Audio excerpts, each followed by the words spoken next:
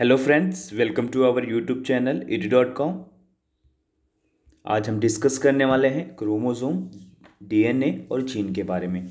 जैसे कि आप डायग्राम देखिए, आपको एक सेल दिख रहा है। ये सेल के नीचे आपको जो न्यूक्लियस दिख रहा है न्यूक्लियस के अंदर छोटे छोटे डॉट डॉट स्ट्रक्चर दिख रहे हैं। थ्रेड जैसे, धागे के जैसे स्ट्रक्चर दिख रहे हैं, उसे क्रोमेटीन कहते हैं।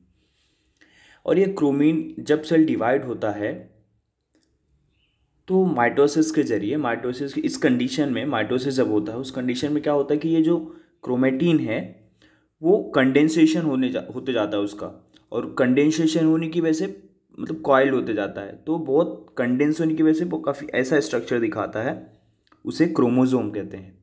और क्रोमोजोम का जो सबसे छोटा, अगर हम छो, सबसे छोटा पार्ट लेंगे क्रोमोजोम का तो उसे डीएनए कहते हैं। ये देखिए, जैसे कि हमने सबसे छोटा पार्ट लिया, आगे जाके उसमें देखिए उसमें भी दो थ्रेड दिख रहे हैं आपको हमें। मतलब हमने सबसे छोटा पार्ट लिया क्रोमोजोम का, उसमें भी हमें दो थ्रेड दिखे। वो डीएनए है, जिसे हम डीऑक्सी राइबोन्यूक्लिक एसिड कहते हैं, और ये डबल स्टैंडर्ड होता है। और डीएनए का जब हम सबसे छोटा सीक्वेंस लेते हैं, उसे हम जीन कहते हैं।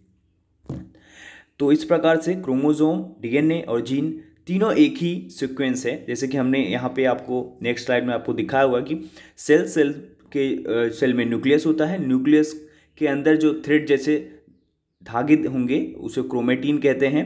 क्रोमेटीन का सबसे जो छोटा पार्ट लेंगे हम, उसे क्रोमोजोम कहते हैं। और क्रोमोजोम का सबसे छोटा जो माइन्यूट पार्ट लेंगे, सबसे छोटा पार्ट लेंगे, उसे हम डीएनए कहते हैं।